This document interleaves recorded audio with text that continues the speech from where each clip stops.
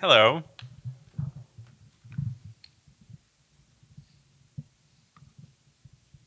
We are cued. Hmm. Oops. Can you hear us both? All right. Yeah? Hello, I'm Daniel Handler, an author.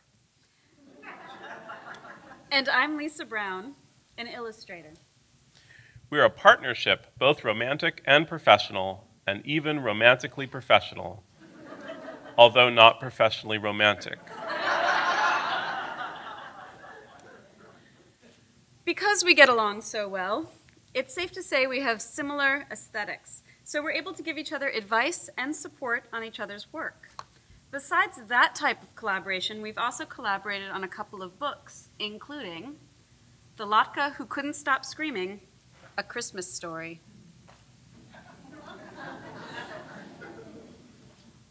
And How to Dress for Every Occasion by the Pope. There seems to be a theme here, which I wasn't really aware of. Oh, yeah, the theme is religion. That just occurred to us. Let's talk about it later. Um, so, um, we uh, uh, were instructed to say something here about our own creative process. And um, our own creative process began when we were very young, and uh, we tried to reach out and learn from the creative processes of authors we admired by contacting them and trying to steal their work. So, uh, the author I most admired as a child was Maurice Sendak, oddly enough. and uh, so I expressed my interest by writing him a, just a big old fan letter and sending it off and being very, very nervous and waiting for months and for years and never getting a response. So uh, we think this is what happened. That's just a dramatization. It does say, uh, you are my favorite, Arthur. Please write me back. Your books, I love your books the most, better than Goodnight Moon. Your friend, Lisa. I, meanwhile, uh, tried to contact Edward Gorey. Um, I was older than Lisa was at the time and had just uh, the first two volumes in a series of unfortunate events had been published, and so I sent them to Edward Gorey with a note saying how much I had always admired his work and how much I hoped that he uh, would forgive all that I had stolen from him. And uh, I never heard from him, but a few weeks later, he dropped dead. That's also a dramatization. Um, so I like to think that I killed him. Uh, but we're not here to talk about Maurice Sendak, and we're not here to talk about Edward Gorey. What we're here to talk about is American chickens. Um, we thought you could get in on the ground floor of our creative process by uh, talking about our first collaboration, which was this magazine, American Chickens. Um, we're going to uh, prevent, uh, we're going to present how we started on American Chickens through a short dramatization. So you, this is our creative process in action. Um, here's a picture of downtown San Francisco where I was temping um, in the early 90s at an accountant's firm, and the name of the accountant was Lewis Handler. And uh, the coincidence is not incidental. It was my father. Yeah.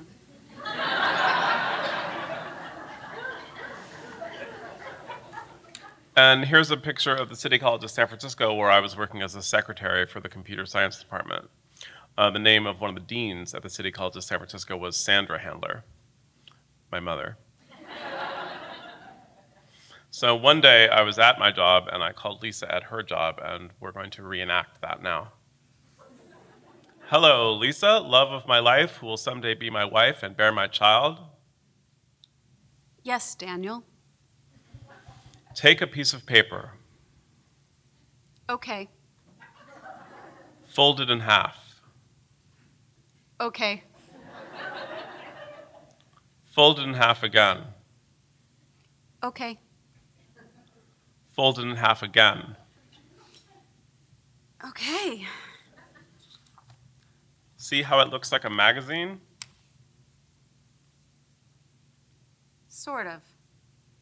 It's our magazine, American Chickens, with an exclamation mark. Can our first issue be about Julian Sands? Yes, get to work. So, uh, this is how we conceived and would create the magazine. You would take a piece of paper, fold it in half again and again until you had a four page magazine with a fold out poster inside. That was very small. Um, Vanity Fair won't teach you this. but it was very economical because you could um, do it all on one side of a black and white Xerox piece of paper. You're going to show them? Yeah. My slide wasn't sufficient. You know what? We don't have to argue in front of all these people. so the magazine basically looked like this. Um, it was very easy to distribute in cafes and uh, bookstores, and by distribute, we just mean leave there. Um, and another part of the creative process involved drinking cocktails. And uh, that's where we drank them. That's the Orbit Room in San Francisco, which happens to be next to our laundromat that we went to. We would do our laundry at the Hollywood Laundromat, and then we would go next door to the Orbit Room and order cocktails, and then each week, feigning ignorance that we were not allowed to take them into the laundromat, we would take them into the laundromat and have our editorial meetings there. Uh, yeah, this is our production office. It was at the Kinko's across the street. It's harder to do this than it looks when you've had a couple of cocktails. Okay, now we'll go through the elements that made up a typical issue of American Chickens magazine. Uh, so this is the general on the first page would be an editorial. This is from issue number seven, Yahoo for I Do, which was dedicated to weddings. Uh, as you can see, it was released in September 1994. Um, can everyone read that? I'll just read it out loud. This was our editorial. Calling all lovebirds. Want to have that fairy tale wedding you've always dreamed of? We at AC, that stood for American Chickens, offer a few surefire pointers. And these were all the fairy tale theme weddings. Snow White, all bridesmaids and ushers must be less than four foot one.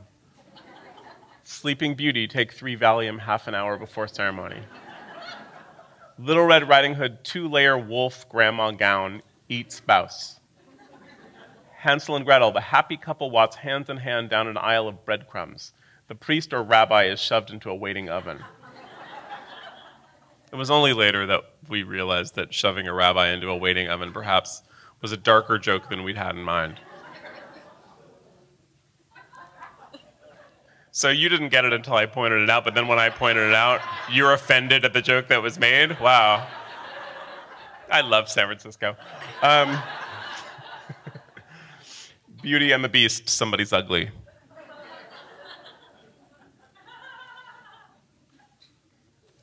Uh, this was the interior of the magazine, in which we often had uh, poetry and quizzes. And so this is part of our issue um, that we entitled A Minute Salute. And uh, so it was all about small things. So we had some very small poetry, which were short Moon Song, full, it glowed round my heart. Suspicion. Whose shoe is this? Pin. I took a pin and put it in. Fernald or the beaver. Oh, to live. You memorized that one. Yeah. Um, and then there's a little, don't forget our fold out poster, which we'll was show you the fold out poster in a minute. Okay. And then the quiz is uh, how to figure out if you are very small. And you give yourself a point for each statement you mark true.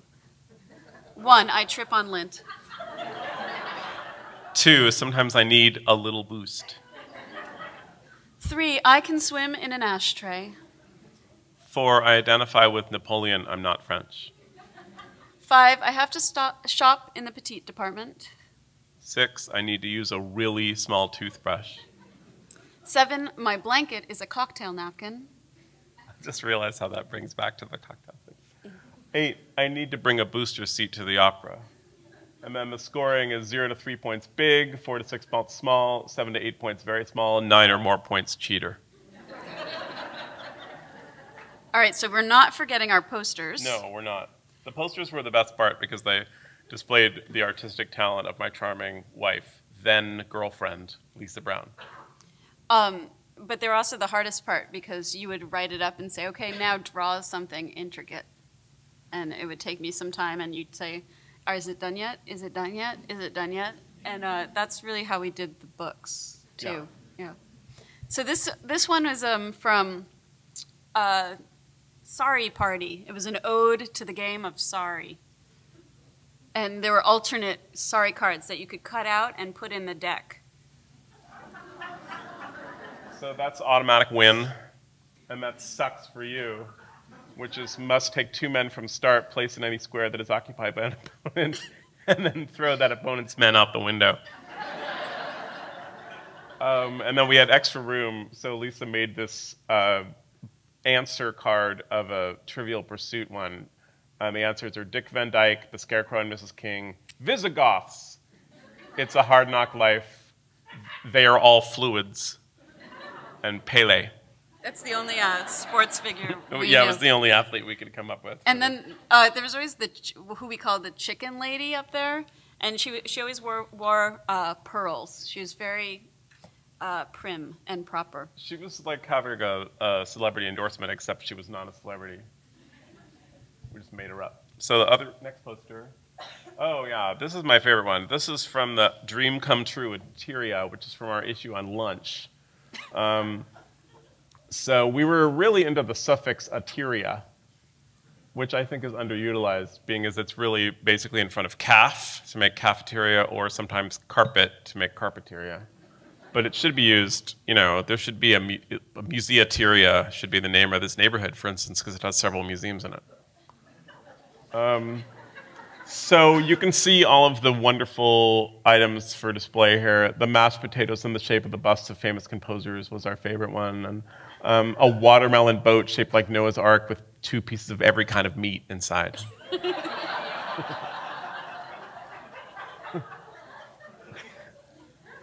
Uh, dessert was candy corn, Yeah. and I think there was also candy corn as vegetable. Candy corn's still my favorite vegetable, I think. And Fresca was in the drinks machine, Yeah, and it's free. it's free. It was totally free. Uh, and so then the back, you know, of the issue was always a contest. Oh no, I'm sorry. This was a raffle. It was always a raffle or a contest. It had audience participation, and so that was a coupon you could mail in to win a free date with Julian Sands. Our first issue was dedicated to the then not very well known, now entirely unknown British actor Julian Sands. Um, and that's the address, not where we lived. It was my parents' address. Um, in fact, it's still my parents' address, and the, cost, the contest is still open. So if you want to just write that down, First prize was date with Julian Sands, but the second prize was uh, Steppenwolf, the book, the novel. yeah, because we had a copy of that and I didn't like it, and so we thought we chances of getting Julian Sands to actually go on a date with somebody was slim, so we could just give away the second prize because it was a book right there. Uh, and it says the next issue is oral hygiene, uh, which is true. It's true. Um, now, unlike our attempts to contact the people we were interested in, uh, people who were interested in our work in American Chickens contacted us, and we replied for the most part. Um, so this is, oh yeah, this is a real cranky letter we got. I don't know why you blocked out the address, being as it's in the prior slide, but for those of you who are slow getting out your pens, too late, ha ha.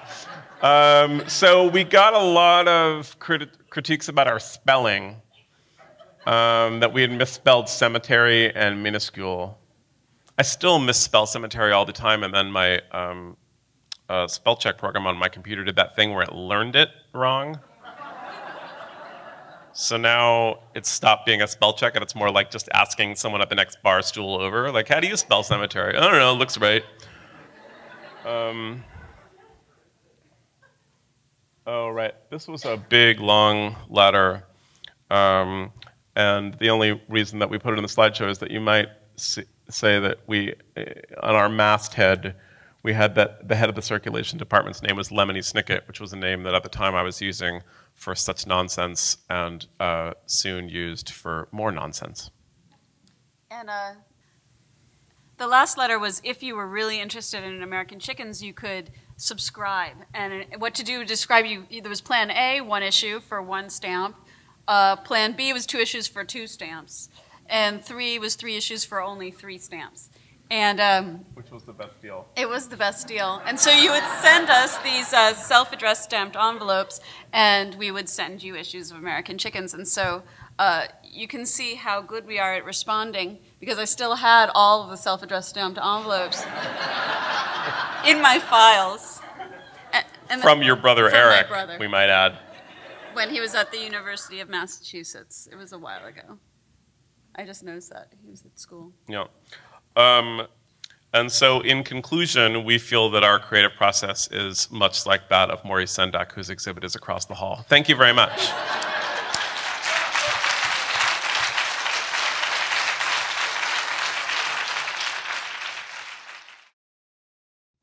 Next up, Jonathon Keats.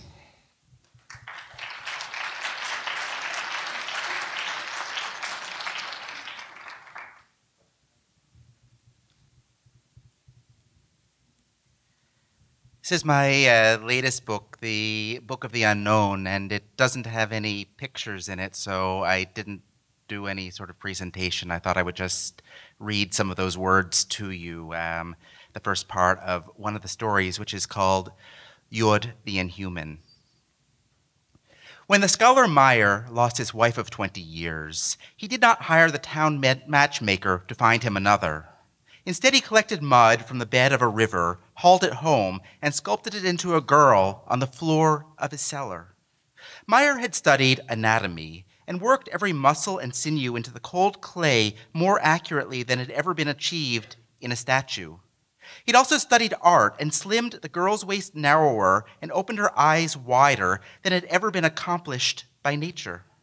Into each empty socket, he set a star sapphire then he pricked his finger and drew with his blood the cipher for life that he'd once seen inscribed in an ancient holy book. The figure began to breathe. In the candlelight, he saw that her skin was tawny like the clay, and her hair was darkest umber. Yet when he beckoned her, he felt nothing loamy to her touch. By morning, she was his mistress. Meyer gave her his wife's old clothes to wear and the dead woman's wooden brush so that the girl might keep the sign on her forehead, that enchanting birthmark, always hidden beneath her hairline. He also gave his mistress a name by which to obey him. He called her Yod. In almost every respect, Yod was an improvement over Meyer's wife, with whom he'd fought constantly since the day their marriage was arranged. Henya had come from a family with servants, and she'd had no wish to become one herself, but her husband hadn't accepted a position in her father's business as expected. He'd kept to his scholarship rather than becoming a shipping clerk, and her whole dowry spent on inexplicable books, she'd been left to cook the meals and mop the floors. That, at least, had been her point of view. In Meyer's opinion, his wife had performed every task inadequately, squandering the pennies he made as a scribe and translator, money earned at the expense of his studies, on flour she could have milled, and meat she could have butchered, or wood she could have timbered with her own two hands. When she had reminded him that she was a cripple, club footed since birth, he'd retorted that she'd hidden that well enough while she was in the market for a husband, so it couldn't be too serious an affliction. Naturally, there were no such faults with Yod, who did what Meyer asked of her instantly without thinking to quibble. Because she hadn't any needs of her own, all work was the same, and she'd tirelessly keep at it until told to stop. In his house, his rule was absolute, and within those four walls, he faced the predicament of princes. The totality of Yod's subservience demanded that he know exactly what he wanted. With practice, he got good at that. And his satisfaction with her would have been complete were it not for the least expected of flaws. Meyer had trouble taking pleasure in his mistress. With her clubfoot and hairy chin, his wife had not especially attracted him, nor had his bow legged scholar's body and urine blonde froth of beard particularly moved her erotically, yet when they'd gotten down to it, shared hatred had inflamed them, and they'd fought their way to ecstasy. Meyer had none of that with Yod. In bed, she let him do to her whatever he wished. She consented without, without comment to acts he never had contemplated with Henya, and granted without complaint every favor he asked of her. She was as selfless at copulation as she was at cooking and mopping. But the more of his expectations she met, the less satisfied he felt. Every night, before he put her to rest by rubbing the mark of life from her forehead, he gazed at her wide sapphire eyes and tight tawny waist and wondered what could possibly be wanting. And every morning, when he pricked his finger and reinscribed the vital sign on her still clay figure, he pondered how she could conceivably not fulfill his desires. Because Meyer no longer took work as a scribe or translator, and Yud fetched his wood and water, he seldom spoke to other people anymore. But he did have one old acquaintance. He and the village rabbi, Zelig, had once been schoolmates. They were as different as two men could be. Plump and gregarious, the rabbi had a biblically large family that crowded his home and defined his life as fully as Meyer's was informed by his library. That Zelig had no books didn't concern folks. At school, he would have flunked without Meyer's Talmudic expertise, yet here he was town McGeed, while Meyer was ignored because Zelig was blessed with common sense. He received Meyer with a ripe kiss on each cheek and a deracinating embrace, while unwashed grandchildren clutched at the fringes of the scholar's gown.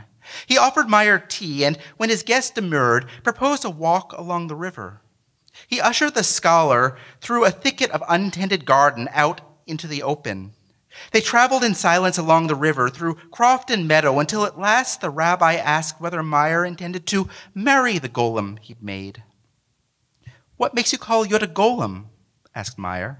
Because she is one, the rabbi said. A girl like that doesn't just appear on her own. In town, they're calling you a sorcerer.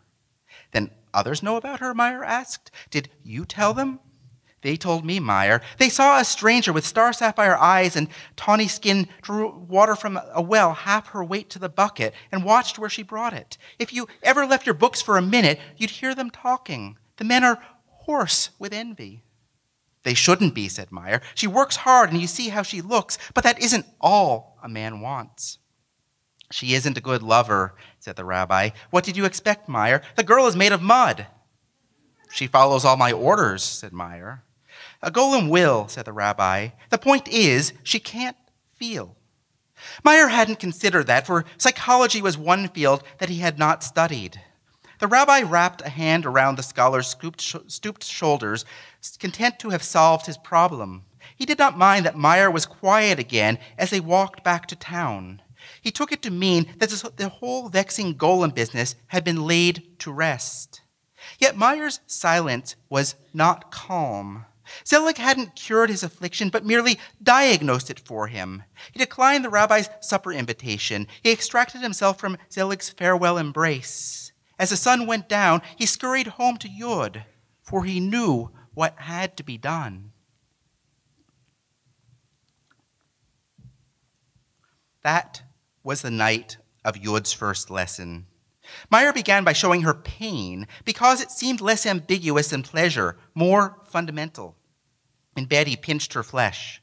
Hurt, he said. Hurt, she repeated, expressionless.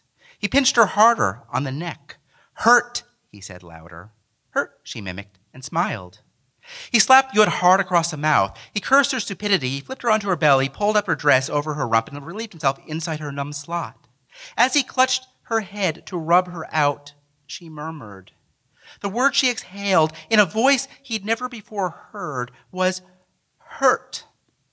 For several days after that, he ravaged her body with every form of torture he could conjure bruise, blister, burn to foster the broadest possible understanding of pain. Then he sought to show her pleasure. At first, she was too tender. She could speak only of hurt, no matter how Meyer handled her. But every hour that he stroked her hair, whispering calm in her ear, she trembled less with terror. She began coming to him between chores, laying her head on his lap, and burbling calm in her contralto sing song. He gave her kisses, which she learned to yearn. From that came naturally the urge that, in her fervid clutch, he told her was lust, but which she pronounced love. Pleasure changed Yud more than pain. She wasn't always obedient anymore. She had her own cravings. When Meyer didn't give her the affection she expected, she sat in a chair and pouted, and if he threatened punishment, she struck first and hit hardest. Every night he was exhausted by her. Her passion bruised and blistered and burned. In pain, he began to question the wisdom of teaching a golem to feel. But Meyer was too wary to see the rabbi or even to look up the matter in his books. And then one evening, after she'd extracted from him every dribble of desire, he fell asleep without blotting her forehead cipher. Yud had never seen a man dormant. Her master wasn't at all pleasurable like that. After waiting an eternity, perhaps several minutes in duration, for Meyer to revive, she climbed out of bed and opened the door. Outside, the moon was full. Its glow felt like a cool slip over her bare skin. Yud shivered, whispering her words, hurt and calm and love, and gathering them again under her tongue for safekeeping, she stepped out into the night, seeking feeling. The forest was so vast that the demon spoke seven different dialects. Some lived in the trees, sailing on the winds, while others were subterranean and blind. Obviously, their cultures also differed. The largest were beasts of destruction, ground dwelling brutes who'd fell whole civilizations and foul themselves when they were done. The slightest of them, airborne wisps as gentle as dust, thrived on deception, sweeping society with rumor and prejudice, high on their own delusion. But neither of these demons concerned people much. The workings of natural disaster were too calamitous and of human nature too ubiquitous for folks to address. Theft and rape and murder, on the other hand, were demons of a scale that everybody could grasp. And in many countries bordering on the forest, princes offered a bounty on such evils. Peasants would band together after dark, significantly decreasing the local crime rate, even if no demons were actually caught. Folks learned to season their vigilance with cunning. They set traps and lay in wait. And one night, in a small principality where river met sea, some old peasants made a catch. Well, not exactly beastly, the creature clearly was no ordinary girl. Sprawled on the ground, stark naked, bleeding where the trap clasped her ankle, she stared at her captors through star sapphire eyes, mouthing the word hurt. The language she spoke was foreign to them. They suspected it might be a hex. They gagged her and bound her in rope. To the palace they dragged her through the dirt. They hollered for the prince. They called for their reward. The prince met them in the courtyard. The farmers tipped their hats as his majesty approached, but they did not lower their voices. Each shouting to be heard over the rest, all of them tried to impress the young royal with how courageous they'd been to capture such a demon. When the prince saw the girl lying at their feet, though, he no longer heard their boasts. He got down on his knees like a commoner to untie her. He broke through the knots with strong hands. The peasants looked on in horror. Did His Majesty know the danger of releasing such a fierce beast within the palace gates? She isn't a demon, he said. She came from the forest, they told him. You can be sure she is one. Look at her slender waist, he said, her wide eyes. She's probably an abducted princess. A girl like this could be taken up by the devil himself. She shivered. The prince wrapped his own velveteen robe around her bare shoulders. He asked her where she came from. When she didn't respond, he surmised that she must be an exotic princess indeed and led her to his chambers to investigate further. The peasants demanded their bounty. The prince replied that if anyone ever again called her unnatural, their reward would be the gallows. The next day, His Majesty announced that he was marrying her. His courtiers, many of them old enough to remember the day his father married his noble mother, and most of whose daughters had been his mistresses on the basis of princely promises, wanted to see her credentials. They asked from what court she'd been abducted. Touching her tawny skin, he deemed her pedigree Arabian or African. They demanded to know her name. Turning his royal back, she said, turning his royal back, he said that they could address her as Your Majesty when they met her the following morning at his wedding. Yud, of course, had never before been bathed in rose water. She'd never had her hair woven into a hundred sinuous braids laced with strands of seed pearl. She'd never before been stitched into a gown of fresh magnolia petals embroidered with pollinated thread. Yet almost every incident in her brief life had been unprecedented. She hadn't the experience to no surprise. As the prince set her with his finest gems, clusters of diamonds around her neck, crystal crown upon her head, he was reassured that he'd chosen his wife well. To carry such magnificence so lightly, he surmised, her gentle blood must flow back unobstructed to the Garden of Eden. Watching her saunter down the palace steps in slippers of gold leaf, even his haughtiest courtiers laid their nobility humbly at her feet in deepest bows and curtsies. They all listened as the prince exchanged vows with his betrothed. You would pronounce her words precisely as he taught her. She didn't yet know what they meant, but when she kissed him, her lips expressed perfectly how she felt. For many months after that, the prince wasn't seen except with his princess. They shared his throne and together wielded her, his scepter, for their fingers were always entwined. The arrangement suited his subjects, considering them no different from himself. The princess embraced their concerns with trusting fervor. They adored her openly, honoring her with garlands of fresh flowers each day, and every night, behind closed doors, she quenched her husband's jealousy. And how he sated her. Every pleasure that old Meyer had promised, that he urged her to yearn, her young husband provided and desired in kind. In his hands, his wife softened, her tawny skin warmed, her sapphire eyes burned. Yet a golem, even a royal one, lacks human perception. Yod didn't notice, less than a year into her marriage, the flicker in her husband's gaze when he looked at Cartier's newly adolescent daughters, nor did she discern meaning in their giggling when, for misbehavior that mystified her, he called them to the throne for a spanking. Then he decreed that as an anniversary gift, his dear princess would spend a month at his country's famed rejuvenating baths. And I will leave off there. Thank you.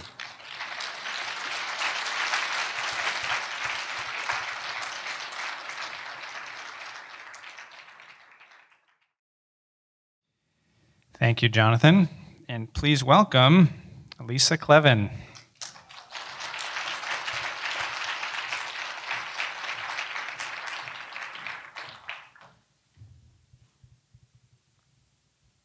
Let's see. Is this good? it's a little high. Oh, I guess I can take it off. I'm very low tech, in case you didn't guess. My name is Elisa Kleven, and um, I have a lot of kind of a variety of things to show you this evening. When, uh, I might just do my uh, basic school talk, which I've done for lots of children, and I just kind of have to pretend you're third grade and under, and then I feel completely at ease. Um, children often ask me why I create picture books, and why does a grown up spend her days making up stories and pictures about things like paper dolls who come to life, or lions who paint pictures with their tails, or flying grandmothers dogs who bake bread, little blue crocodiles. And I guess the answer is that I've never outgrown a very childlike um, habit of making my own little make believe worlds within the big everyday one. As a, as a kid growing up in LA, I had a strong desire for magic in my life. I think all children have this, but I remember really wishing that um, Peter Pan would fly through my window one night and whisk me off to Neverland, or that Stuart Little would come and teach in my school or I could open a find a wardrobe door in my house and be in Narnia, or slide down a rabbit hole, or you know, why did Dorothy's house whisk away to Oz in a cyclone? I thought that was very cool, even though it was terrifying. I just wanted my house to go up in the sky and land in Oz, and and of course these things never happened except in books. And I love to read, but whenever I was done with a book, I had an intense sense of frustration and longing because I still wanted the magic to continue. So I ended up making little imaginary worlds of my own using stuff I'd find around the house. I made a doll house in my closet. I made the rooms out of um, fruit crates, and I made the people out of all sorts of stuff. Um, I remember that balcony used to hold my mother's checks from the bank. I was constantly recycling little bits and pieces of things. This little Shabbat dinner the rabbi and his wife are made of um, walnut shells with cotton hair. Uh, the tablecloth is a handkerchief. The challah is a little tiny bit of bread dough that I baked in the toaster oven. Um, I loved the book The Borrowers about the little people who furnish their home with bits and pieces of the, the big world. I never, I always thought that was just so fascinating, and I never looked at a watch or a thimble in quite the same way after seeing them as, you know, glasses for milk or grandfather clocks. And so books like that inspired me a lot. um, I loved the little house books, and I felt very jealous of Laura and Mary who got to churn butter, because I got my butter from the plastic tub at the supermarket, and so I made little. I thought they were very wholesome, but now I realize they're kind of odd because they're made of cinnamon sticks and wine corks. My churns, and that little lady there baking bread, or I guess she's using a rolling pin to roll out bread. She's just a paper doll paper had a kind of magic to me when I was a kid, and it still does because that's what artists do all day and writers. We sit there with paper and pencil and paint, trying to give it a life and a spirit of its own.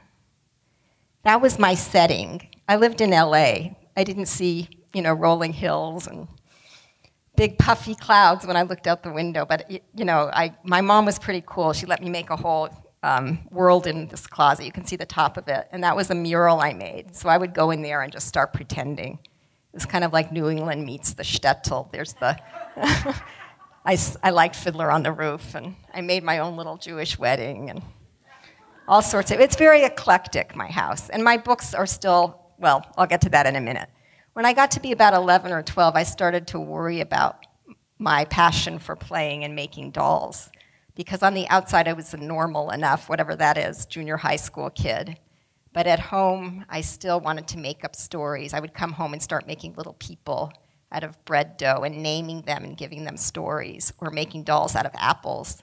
He used to be playing a seed pod mandolin, but it, it fell, but his hands are still playing the imaginary mandolin. And then one day I, it kind of struck me that there was nothing particularly wrong with me. I just um, I like to make up stories and I like to create characters and build little settings and worlds around them. And that's why I think I write and illustrate picture books. I don't play in a dollhouse anymore, but I work in my studio. And I'm still making miniature imaginary worlds inside of my books. A lot of my characters have look like toys. And a lot of my settings have the feeling of a dollhouse with lots of little rooms and windows everywhere. I usually start my, this was um, one of my very early books. It's about 20 years old. but I usually start my stories by wondering what if about my characters. This is about a little blue crocodile who wonders what if. His name is Ernst, and he shows up in a lot of my books, including my most recent one that's here tonight, The Carousel Tale. Or what if there were a lion who painted pictures with his tail? What if my grandma and I, Abuela, went flying over New York City. I didn't write the story. An author named Arthur Dorros wrote it. But I responded to the um, what if quality of it and the fantasy. And I like mixing imaginary and real places. So obviously it's New York City, but they're flying. So that resonated with me. And that's the sketch I make, and that on the right, and the finished picture on the left. This is about a little cat who has a what if. What if she's so lonely she wishes that the star would jump down from the sky and play with her? What if a little girl made a paper doll and before she could give it hair, it blew away? It's a paper princess. It's a bald princess. um, like my, my characters are pretty eclectic, um, like my dolls used to be. I make characters who are paper dolls or birds or monsters, angels, real kids, apples. And my settings are too. I move around from outer space to dream worlds, real places. That's Brooklyn. That's from my newest book, which Thatcher Hurd wrote. And this will be out in spring. It's called The Weaver. And you can see sort of Bay Area, Yosemite, and The Weaver with her magical tapestry. So, all this making of stories and settings and characters gives me the same pleasure that I used to get making toy worlds. Because it's I think children and artists share that, um, the gift of bringing the inanimate to life with their imagination, taking a doll and a toy or a toy and bringing, um, breathing life into it, making it a character, or taking paper and pencil, and suddenly you have a, a living form. Well, living in terms of art, you know what I mean. And the way I make my pictures, I, I do a lot of collage, and it's very similar to the way I played as a kid, too. I take bits and pieces of things I find around the house or material or doilies. Instead of turning it into a dollhouse rug or tablecloth, I snipped it to bits and turned it into a snowstorm. I liked what you said about taking a cocktail napkin and turning it into a blanket. because I did a lot of that. And uh, I'll take wool and turn it into my lion's mane. I'm not sure how long I've been talking for, but I'll take five more minutes. Is that okay? Um, sometimes I take origami paper, and in this picture from Abuela, I turn them into sailboats. I also paint and draw my own collage materials, so I'll paint a big piece of starry, you know, red starry pattern and then cut it up into a skirt or a sailboat, as it were, or rainbowy stripes. Take bits of cloth and turn them into curtains, just exactly the way I played as a kid, recycling. And most kids, after I've done the slideshow at school, kids are always saying, I did that in my shoebox, or I make these things. And I just like validating that because I think it's common to childhood, and I want to keep it alive because so many kids are scheduled to death and you know don't have time to just sit there and make stuff like I used to. Uh, quickly, I'll talk a little bit about my stories. They're often about transformations too. In this story, The Paper Princess, a little girl takes markers and paper and turns it into a princess. The, and later, the princess turns into a birthday card on her other side and finds her way home to the little girl who first made her. A carousel tale, the little crocodile here, Ernst, he loves the honey colored dog on the merry-go-round. He rides it every day after school. And one winter day, when the merry-go-round is all covered up, he finds the tail on the ground and he feels quite startled by this sight. And he brings it down to the back to the carousel keeper who's a kindly elephant, and she says he can keep it over the winter. He has to take good care of it, and he promises to take good care of it. But it's kind of a depressing sight, especially on his toy shelf with all his toys. And so he turns it into a beautiful new creature. Beautiful, no. It's happy anyway. And then he makes his friend the dog a new tail in spring, so he didn't forget about the dog either. He also is a, um, he's a dreamer, and he shows up in the puddle pail too. He wants to collect things like his big brother, who has very cool collections of rocks and rubber bands and coins. And Ernst wants to collect stars and clouds and rainbows, and his big brother laughs at him and tells him he can't do that. But he finds a way to collect their reflections. I got that idea by looking at the reflections in my neighborhood on a rainy day. They look like shimmery paintings on the ground. And I turned it into Ernst's world. At the top, that's a striped puddle. He's, he collects things like purple puddles and flowered puddles and checkered puddles and striped puddles. And that's the striped puddle I saw. So you never know. Kids say all the time, Where do you get your ideas? And I say, I was walking through my neighborhood and I saw a striped puddle. or one winter day, I was really grumpy and my kids were screaming to go out and play, and I, the sun hadn't shone for weeks, so I made a big round buttery bread and as I was baking it, the sun came out. And that's where I got my idea for sun bread, which is a story about a dog who makes a bread that's very much like the sun because it's round and golden and it shines and rises and warms everybody up. Those are my dogs. I put the things I love in my books, including my kids. There's New York City. I like to, as I said before, I like to illustrate real worlds as well as imaginary lands inside of my head. And that was my grandmother. She was a big inspiration. She came from a little shtetl, and she has a very sad story.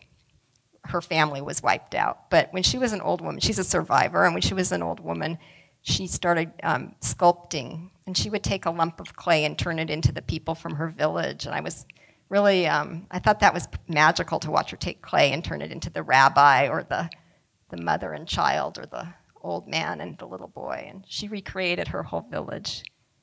And so that was quite a, a powerful thing to see. That's Picasso. I love how he turned a um, bicycle seat into a, a bowl.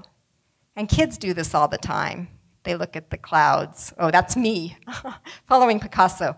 I turned a merry-go-round, I mean a pie pan. That's a Marie Callender's pie pan on the bottom that I made into a merry-go-round. That was my mother's work. She was an artist. She was an etcher and a printmaker. She used to take junk from rusty old cars and make new animals and shapes out of them. So I had a lot of amazing influences. Um, she made etchings of me and my sisters, a very different style, obviously, from my colorful, whimsical one, but some of the tiny, teeny things I used to make too. Anyway, so get an overview of where pictures and ideas come from. Thank you.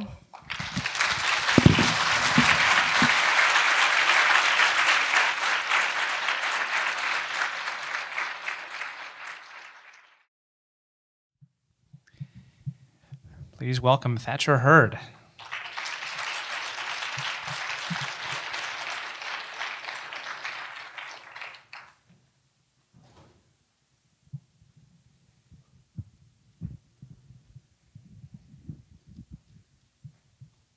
That's as high as it'll go, I guess. Okay. Mm.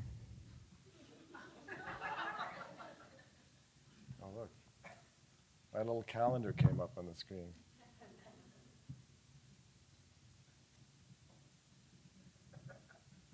And I can none of your none of your preferred networks are available.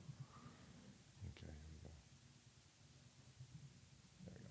go. So I grew up in a family of people who did children's books. My mother wrote books. This is her sitting on a Campbell soup box. And my father was an artist and an illustrator. This is him painting in landscape in Vermont in a bow tie.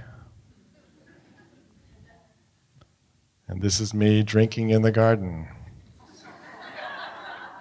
I don't know what I'm drinking there, but um, and that's my potty chair over to the left. but I was a really chubby kid. Anyway, um, as some of you may know, my, as I said, my mother wrote books, my father illustrated. They did lots of books together, and they also both worked with Margaret Wise Brown. Uh, my father illustrated Goodnight Moon and uh, The Runaway Bunny, among other books of hers, and my mother also did books with her. Um, this is her pushing me in a little uh, cart in the winter. She loved fur. My parents said uh, she died tragically very young at the age of, I think, 42. So I, didn't, I don't remember her, but um, my parents said she would arrive uh, at their house in Vermont in an open convertible in the winter with all fur rugs all around and around her. And then they took me one time when I was um, about two or so to visit her. And she lived in New York, but in the summer she lived in Maine. And um, she had a house on the island of Vinalhaven you could only get to by water. And they, she said to my parents, um, we'll just take the ferry from Camden uh, to, to Vinalhaven, and I'll, I'll sail out and meet the ferry in the middle of Penobscot Bay, and you can just get off onto the sailboat. So my parents got onto the, uh, the ferry, and uh, the ferry, the captain said, no, we don't do that. but somehow they convinced him to do it, so they handed me over the side of this ferry into her sailboat, and we sailed to her place. And she, she didn't have kids of her own, and she was one of those people who was amazingly in touch with her own childhood, but she couldn't really relate to real kids. So she had apparently made me this whole dinner, like a little quiche or something. And I was two, and I didn't had no interest in that at all. And then she had made a whole fur room, the bo bottom of her house. And this was where I was supposed to sleep by myself. she, uh, she I, I think she had a tiger rug on the floor. And my parents took me down to, um, to this room, and I burst into tears. I wouldn't have anything to do with it. Anyway, and one of my all-time favorite books of hers is The Little Fur Family. If you don't know it, it's that it's I think they publish it bigger now, but when it was originally published, it was tiny, and it was covered in real rabbit fur. And they put all the fur in a big, all the books in a big warehouse, and all the fur rotted. Anyway, this is this is my parents with Margaret looking very debonair and again, her that's that's I'm sure that's not a fake fur coat. That's a real. Uh, and you notice my father's got a cigarette. And this is the picture that was on the back of Goodnight Moon for many many years. Um, he looks sort of like who's that actor? He was in uh, I can't remember Ed Harris, that's right, anyway. Um, but he had this cigarette in his hand, and, and it, this was just on the back of Goodnight Moon for years and years. And one day, a few years ago, they, you probably heard this whole thing. They called me up at Harper and they said, We want to take the cigarette out. And I said, No way, you're not going to do that. But they kept badgering me about this. So finally, I gave in foolishly and I said, Okay, take the cigarette out.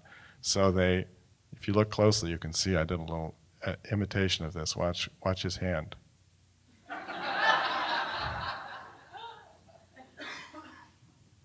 we can go back. Cigarette, no. Cigarette. And it looked just like that. It looked incredibly bizarre to have a man just standing there with this weird hand.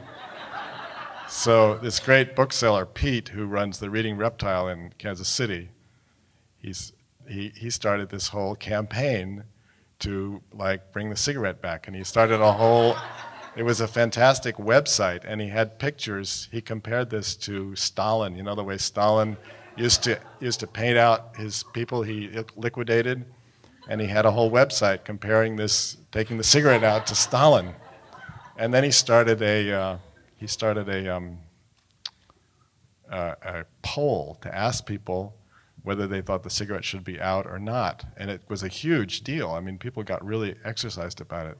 But then he discovered that people had learned how to hack into his website, and it was like 10,000 votes skewed the wrong way or something like that. Anyway, but it got all the way to somebody sent this Tokyo newspaper or ja- I think that's Japanese. Is that Japanese? Yeah, yeah. So it was cool to see my dad in Japan. Anyway, so I grew up in a whole kind of wonderful world of people who did children's books. This was a very dear friend of ours was Don Freeman, who wrote Corduroy and other terrific books, Norman the Doorman and Pet of the Met, which I loved. This is him with his lovely wife, Lydia. And uh, actually, this I found this picture among my parents' stuff. This is Maurice Sendak with my parents in like 1963 or something like that. And as long as we're on the cigarette theme, there's Maurice, there's Maurice lighting up on our deck. And I think that's Don Freeman over in the corner. Um, and my Margaret, well, we called her, they called her Brownie, but anyway, my, she had a, she loved terriers, and she had a terrier, and she and my mother decided to call the dog Nothing to, to see what psychological effect it would have. so, so uh, I found this, this wonderful old photo album of my parents' things, and you can see down the bottom it says nothing and brownie. Uh, her, my, I think the, I, I will, the, the greatest children's book ever written, I think, is Sailor Dog. And I completely adored this book when I was a child. And there was something about the adventure and the coziness and the wonderfulness of it that captivated me. It has pictures, it's by Margaret Wise Brown, it has pictures by Garth Williams. So when I started doing children's books, I was kind of dazzled and overwhelmed by my parents' careers and the people they knew. So I sort of definitely started out in that vein. And I, Sailor Dog starts out Born at sea in the teeth of a howling gale, the sailor was a dog, Scuppers was his name. So I did a book called Hobo Dog. It was one of the first books I did. And Hobo Dog, Hobo Dog starts out Born in a boxcar rolling west, the drifter was a dog, Hobo was his name. So it took me about 10 years of doing books to start really feeling like I could do my own kind of stuff and not be so overshadowed, I guess, by. And the kind of first book I did that really um, felt like me was Mama Don't Allow, based on the old uh, song. I used to hear the song all the time on the radio, and I thought, this has got to be a picture book. But it took me forever to. I don't know, the good ones seem to take a long time. I have to kind of put them away for a long time, take them out, rework, rework. And then I did um, Art Dog, Art Dog started out as a completely different book. It started out as a book about frogs in a pond. It's really true. and I would take it out every few months and work on it, and slowly it evolved and evolved and evolved. but it never really got any better. And I finally got to a book called Ultra Dog. And I, what I do is I, I, write the book and then I make a little dummy. We call it a dummy. It's just a little version of it. And um, I did this book called Ultra Dog, and then I usually give it to my wife Olivia. And uh, you know, she reads it, and then she finishes, and then there's like this pause. And how long the pause is is like how good the book is, kind of. So there was long pause after Ultra Dog, and it, you know, it wasn't really working. She, she said it's not really working. It wasn't really working. So I put it away again for a long time, and then I was riding along the freeway, driving along the freeway, and all of a sudden I had this thought. It was like, what's ultra backwards? Well, it's art Lou, but I, I took off the Lou part, and I ended up with art dog. But it's it's, it's interesting how a title can really spark a book. I find if I, if I always feel like if I, it's like this little thing, if I get the title, it's going to be right. So there's Art Dog filling up his brushmobile at the Acme Paint Company. I didn't bring a whole lot of pictures from it. And then I would just like to end by uh, reading Bad Frogs. Oh no, there's another art dog picture. This is art dog painting the bad guys into their own masterpiece, which looks suspiciously like a Henri Matisse. I had so much fun doing this book. I didn't show any of the pictures, but I got to take all kinds of famous paintings, um, Picasso and Gainsborough and Vermeer, and turn them into dog paintings. Anyway, this is Bad Frogs.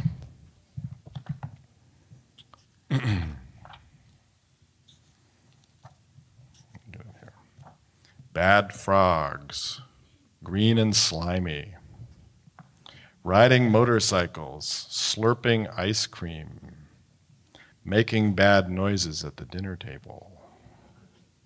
Bad frogs, very bad frogs. Bad frogs, smelling yucky, talking crummy wearing bad hats, wearing dark glasses.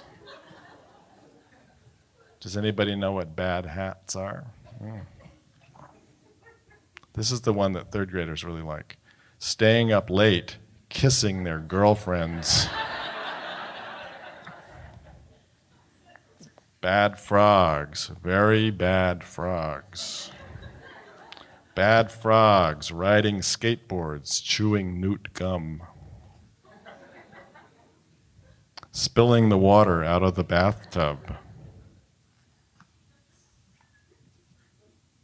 Bad frogs, very bad frogs. Now here comes the middle part. Could they be good? Could they be quiet? They're trying really hard. Could they dress up in tutus and dance in a straight line? Could they? Oh, would they? No way. Uh, oh, I, I did the wrong page. Wait. No way. Not a chance. I don't think so. Nope. They'll never say thank you. They'll never say please. They'll never eat broccoli. They'll never, ever eat peas. They'll jump in the muck, they'll fall on their heads, they'll fight with their toothbrushes, they'll fall out of bed, they'll be bad frogs forever. Thank you.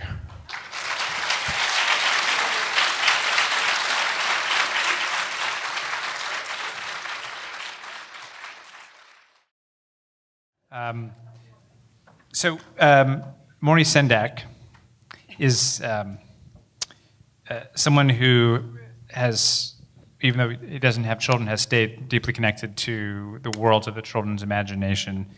Um, and I think as as writers who write children's books, fables, and so forth, um, I think that's I would imagine that's something that you all do. Um, I'm wondering, maybe I was going to start with Jonathon. Uh, uh, you wrote this you wrote this fable.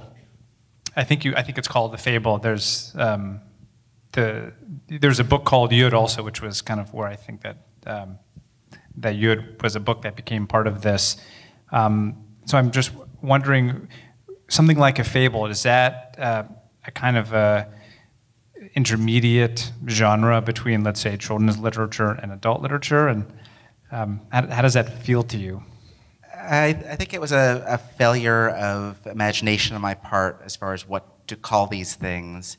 I had written a couple novels that were contemporary literary fiction, uh, which should be said, I suppose, with an accent British. Um, and I kind of was feeling like there was something lacking in those, at least for me, and that what was lacking was what I remembered from reading Sendak and others, uh, which was that once upon a time, long ago and far away quality of just telling a story. And so ultimately, I um, abandoned a failed career, if you can do that, as a, an author of contemporary literary fiction to try to write stories that I might want to read. Um, and Yod was one of a series that were shamelessly uh, swiped from Talmudic legend. Uh, the uh, the the 36 righteous, uh, served as a good frame and also served as a good um, marketing tool, perhaps, in terms of the fact that there were a lot of them. So I could just keep going and it had some inherent structure. And so Yod was was was one of these well, one of what will eventually be 36, or actually it's deceptive, um, deceptive advertising. There are only 12 in this book. I haven't written the other 24. Um, but to me, a fable is sort of, it's, a, it's an act of the imagination, um, the creation of an alternate universe that allows us to reflect back on our own. So I think maybe it is what I thought I was trying to do with the contemporary literary fiction, uh, satirically, I now am trying to do in a different way of how people have been doing it in children's literature and how people were doing it around the campfire for um, thousands, tens of thousands of years. I notice there's an awful lot of stealing going on in this group, which is great. um, Daniel, I wonder, as um, I think you might be the only person on the panel who has kind of written books explicitly. Well, books mostly for kids and mostly for adults. I'm just wondering, um, in your imagination, are uh, do those places do do the inspirations for those different genres of books come from the same place? You probably get this question a lot, but uh, it's something I'd be really curious to know. Um, yeah, I guess they do. It's I mean, I never know where ideas come from except I either steal other people's ideas or I, I think that they're always stolen ideas. I just they're either stolen on purpose, that is, I know absolutely where I stole it and I hope no one notices, or I think of it myself and then later I'm rereading something and I think, oh. um, um, but I, but it all feels one and the same to me. The um, I don't. I feel more and more bewildered the older I get. So the uh, sense that I'm in a world in which things are happening that I don't understand was the essence of childhood, but it seems even more so the essence of adulthood. Sorry. Yeah. I, I, also, I live here in. San. I grew up here in San Francisco, and so I live here. So I think that helps reinforce it that it's all huge cycle doing the same thing over and over again. My son just started public school as I went to public schools here in San Francisco, and it's been a big, long memory of elementary school that I walk him every morning. It's not the same school, but it, but it has the same feel to it. You know, I think, oh yeah, bells, and then everyone's saying, is that the first bell or the second bell? You know, it's a terrible way to run anything. and no one's fixed it.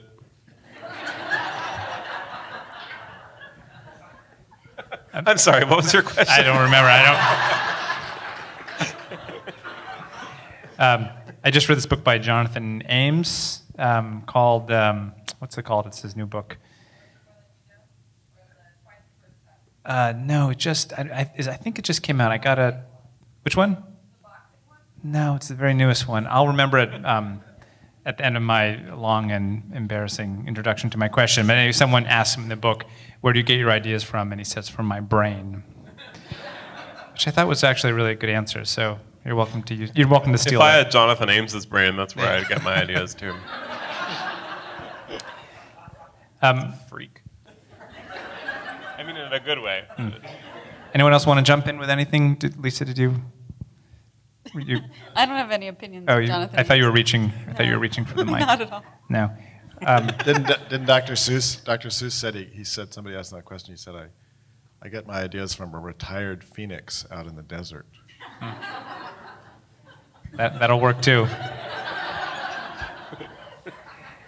Um, so uh, there's been all this stuff out about um, where the wild things are, the um, the movie, um, and uh, there's been a lot in the paper. Uh, Spike Jonze was on Terry Gross, I think, a few days ago, and there was a cover of the New York Times Magazine was about the film, and um, I think it was in Newsweek where um, Maurice Sendak was uh, interviewed about the film, and he um, said, "What do you say to parents who say that the movie is too scary?" And he said, "Tell those parents to go to hell."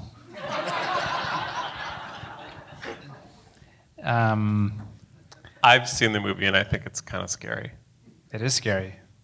Um, well, not well. I mean, it depends what kind of kid. Too scary for our kid. Um, not not uh, not too scary for me. Um, so you could tell my parents to go to hell if you want. their I had their address up there before, so you can just write them.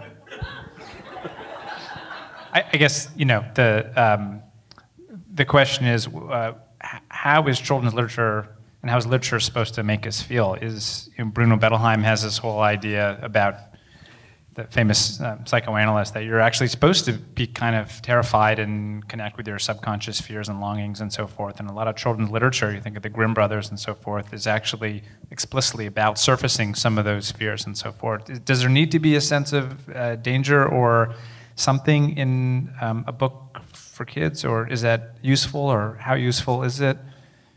Do any of you feel like it's something that you've included, or no? Elisa, any? Elisa? Elisa. Oh, yeah. I like a character with a problem, just because when I was a kid, I didn't want to read about happy characters. I wanted to read about a princess who was bald, say. Maybe that's why I wrote that story for myself.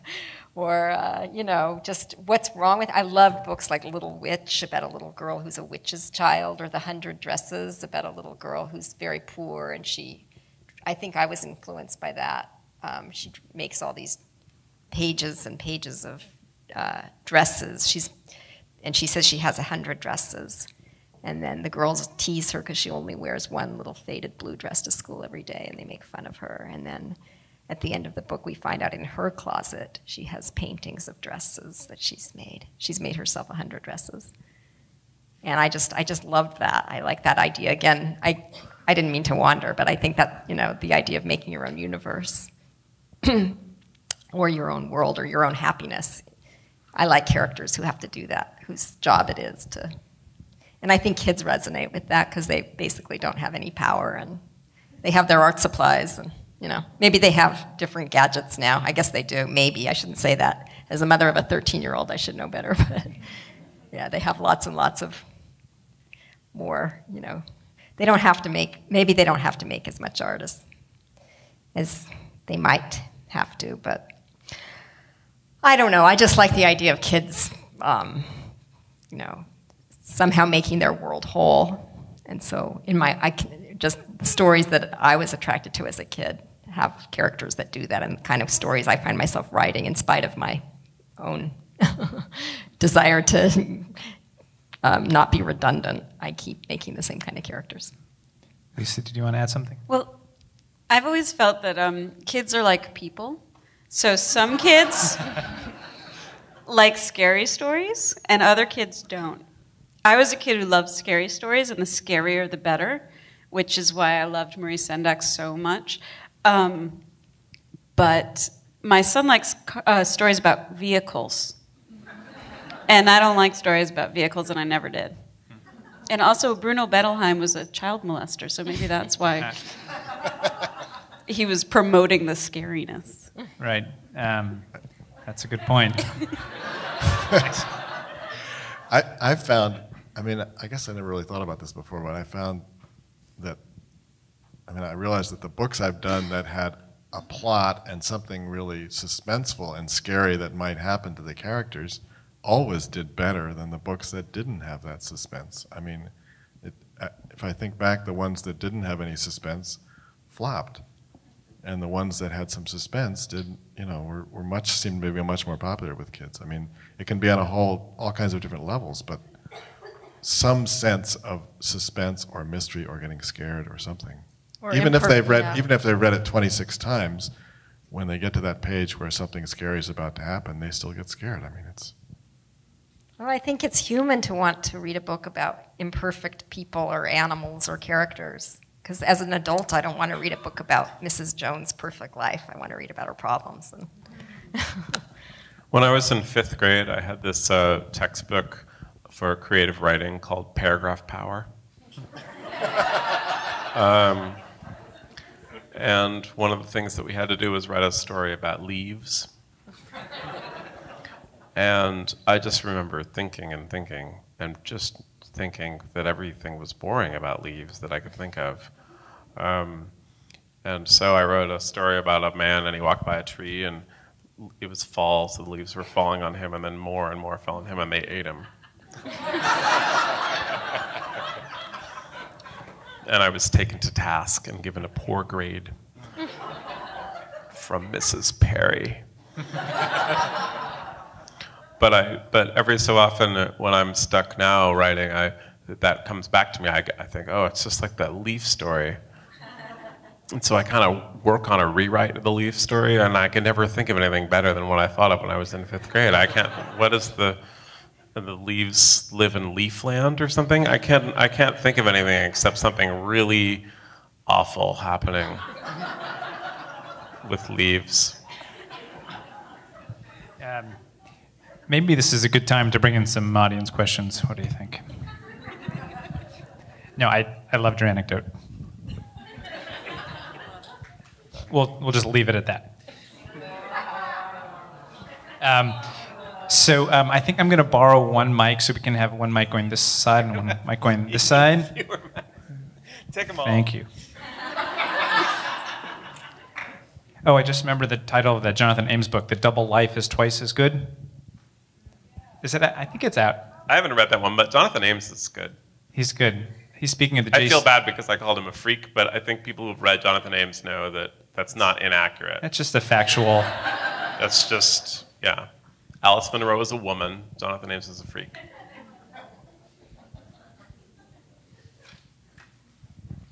Hi, I was wondering, you were talking about the role of danger in the books. I'm also wondering on the flip side, the role of morals or lessons in terms of children's books and where you sort of started with that maybe in the beginning of your writing and has it evolved or what your thoughts are about should there be a moral, should there be a lesson and you know how that should play out. No, I don't. I, I mean, I, No. I one of the one. Oh well, to No. uh, speak of the fables that my colleague Mr. Keats writes, based on the Talmud, based on old ancient stories, which are invariably called moralistic when people talk about them, and then when you read them, have no discernible moral whatsoever. you know, God said, "Sacrifice your son," and then he, he was like, "Really?" And he was like, I, "I'm serious." Okay, no, don't do that. the moral is, uh, you know, don't you shouldn't have done that. But he told you to. It doesn't make any sense. So I think that I always think that a story that feels real, that feels true, doesn't have that what we think of as a moralistic structure. It often turns out to have certainly much enriching that you can wallow in, but it doesn't have what we think of, which is, oh, we better teach the little nippers something. Um, you know, that there's no, what's the moral of bad frogs? Like, oh, sometimes you're stuck with them, man. There they are.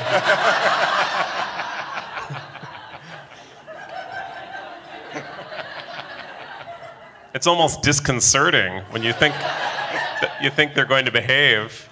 Are they going to be good? And you think, oh, this book's getting worse. And then, oh, no, they're not. They're just bad frogs. I, I was hoping that some reviewer would get upset about the fact that they were completely immoral. And, and the only, re- I, I, you know, there was a few reviews and PW said they weren't bad enough. it was bizarre. yeah, it was like smoking. it was like it was like what what kids. The review basically said what kids see on TV isn't half as bad as I mean, it's much worse than this. And I was like, wait a minute, this is for five-year-olds, three-year-olds. Plus, they're frogs. I mean, what? Plus they're frogs. Yeah. They can't be as bad as people, otherwise, you know, we'd be endangered living in polluted ponds, and frogs would be holding seminars.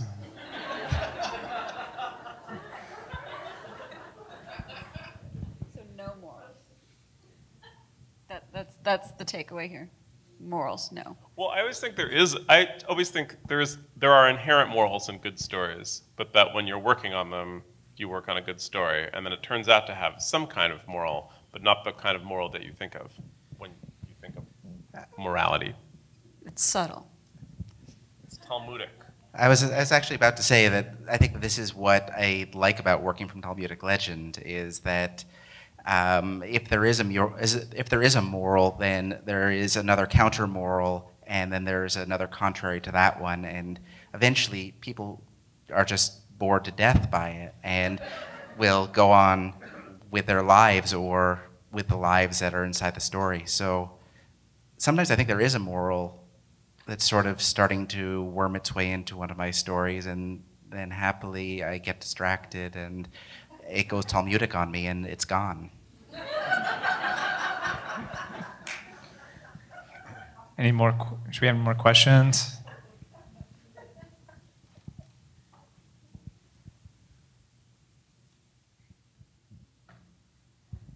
I have a question on character development. Do you find in the beginning that you immediately have a character when you start, or with like no idea and evolves as you keep going, or just how that process plays out?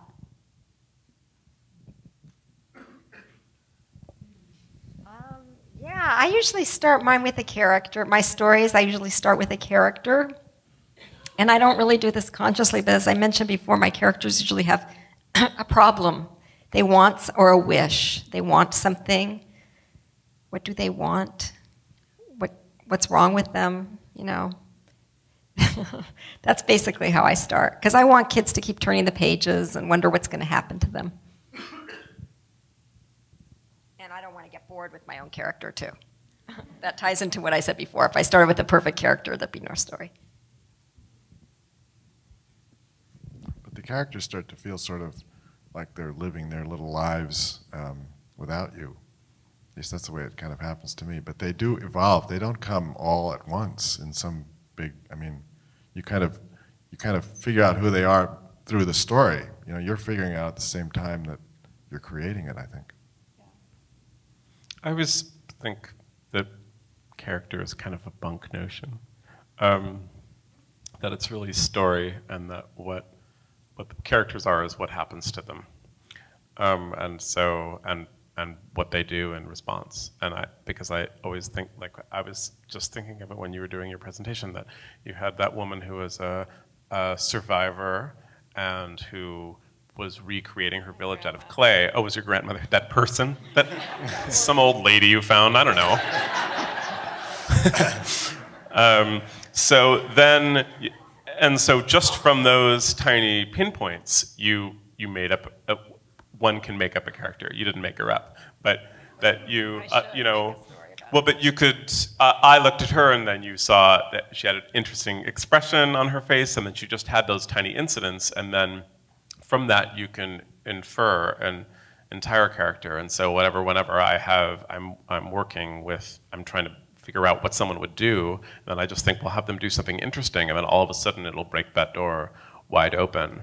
Um, I am, I'm just working on a novel now for adults, although it has a bunch of adolescents in it, and um, I decided um, that it would just be more interesting if this the adolescent girl who's in the story lost her best friend. Not that the best friend dies, but they have one of those huge fallings out that one sees so much of when one is 14.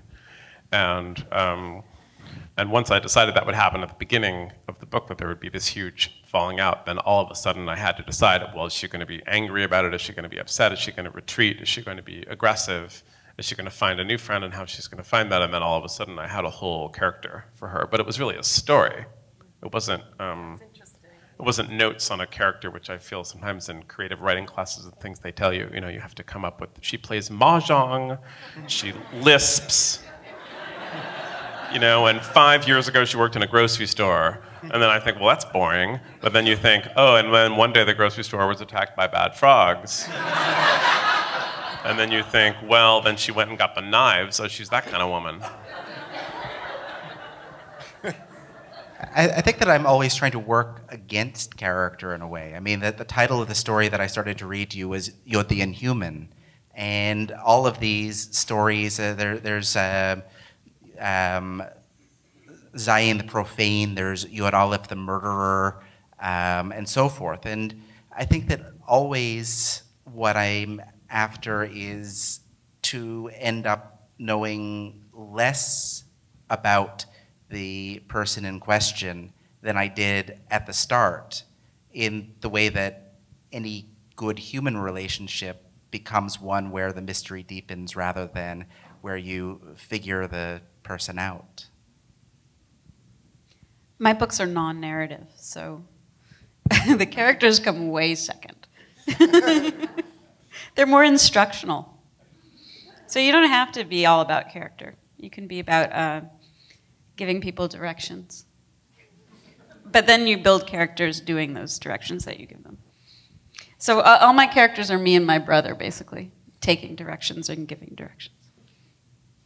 My characters, actually, I forgot to mention, they often start out just as images. Like, you know, I'll see a lion at the zoo. I remember seeing a lion and his tail reminded me of a paintbrush. So I had this idea for the story of a lion who painted or or I don't know. I always used to make the hair on my paper dolls last when I was a kid, and sometimes they would blow away before you could put the hair on, before I could put the hair on. So that's pretty much actually how my characters, I think, start just by looking at something or the puddle. I look at a puddle and reminds me of a story or a character. So mine are pretty visual. Uh, there are a lot of writers in the audience, and I'm one of them. I'm over here. Hi. Uh, and my latest kids book was going to be published uh, probably about a year and a half ago. It's then went to 2014, back down to 2012 now. We're doing okay. But these are tough times for many writers. I'm probably one of them. How are you guys doing?